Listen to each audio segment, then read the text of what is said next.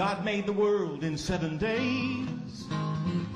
Well, that's one week to be specific. Now that's what I call scientific.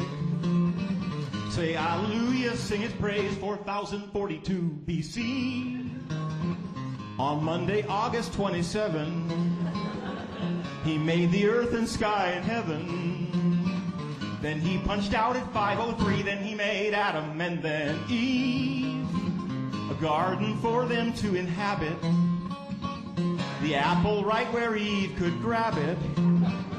And I got proof cause I believe creation science 101. In the beginning it begun. And you are just beginning to educate yourself when you shun evolution. Then Cain and Abel he begat. And they begat all of the rest to us. Which means they must have been incestuous. I'm gonna have to pray about that. There might be sinners in this class who might believe in Charles Darwin. I guess that's just their loss and our win. Because I'm gonna flunk their ass if you make Genesis your text.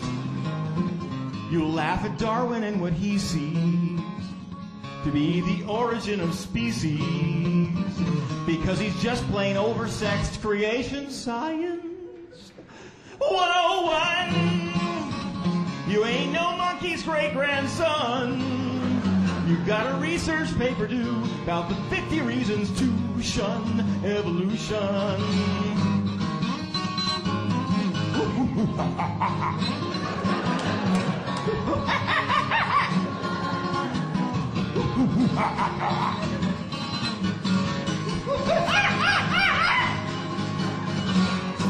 Don't let them hand you that old jive about survival of the fittest.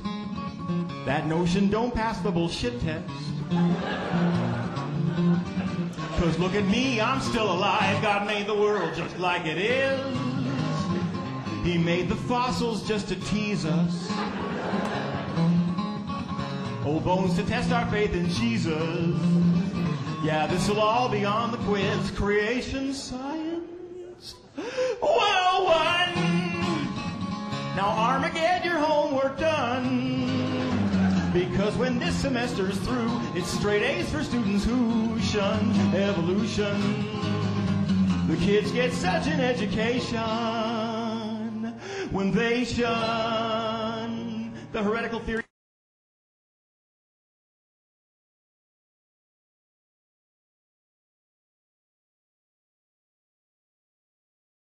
Element of life on Earth over millions of years by means of spontaneous genetic mutation.